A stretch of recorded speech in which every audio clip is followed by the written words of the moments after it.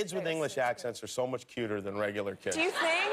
Yes, I love yeah, it. that little blonde one, he's wild. Oh, the little one yeah, is yeah. adorable. Yeah. He's so sweet. He was. What's his name? He's called Joel. Okay. And there was a lot of kind of Joel wrangling on script, because, on, on, on set, because he was sort of crazy and had never done a film before.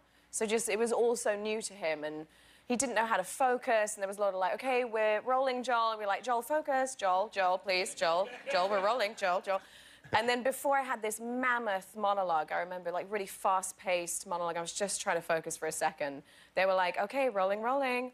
And Joel would be like, Emily, what do you get if you put the letter B in front of the word oobs? And I was like,